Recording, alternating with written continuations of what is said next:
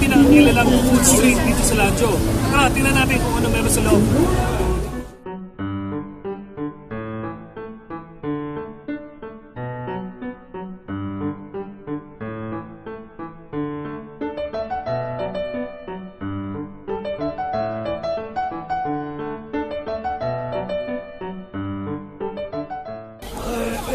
Ngayon, kakainin natin itong niluto natin yang orchon.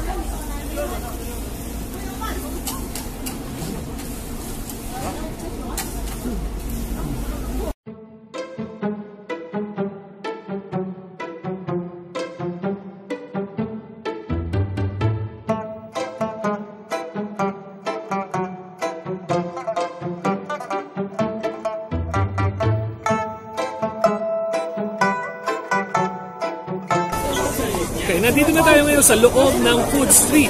At nakikita nyo naman, napakaraming tao at napakaraming pagkain nandito.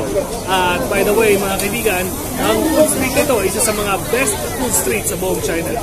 At itong food stall kung saan tayo nakatayo ngayon ay isa sa mga rekomendadong food stall ng Bite of China. Ang Bite of China ay isa sa mga CCTV documentary kung saan dinidetalya at pinapakita yung pinakamasasarap at pinakamagagandang kainan sa buong bansa.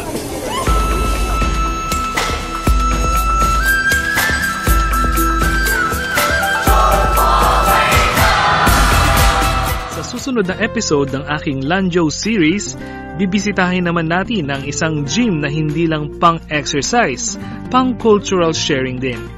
Samahan niyo ako sa aking pag-share ng Filipino Martial Arts o Arnis Eskrima Kali sa mga gym rats ng Maker Fit Gym.